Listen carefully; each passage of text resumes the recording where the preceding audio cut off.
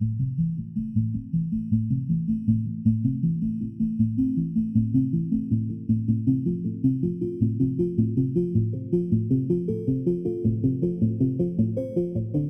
my tady ve fotoateliéru v Terezíně fotíme všechny sbírkové předměty, které eh, potom vychází v publikacích, používáme je do výstav a profocujeme tady sbírky, digitalizujeme tady všechny sbírkové předměty. Nyní zde máme týdenní akci, kdy fotíme eh, sbírkové předměty eh, novodobých českých dějin, kdy profocujeme celý depozitář obrazů. Máme zde na pomoc studenty, kteří nám s tím pomáhají a zde vidíte jeden z obrazů, který je součástí této sbírky.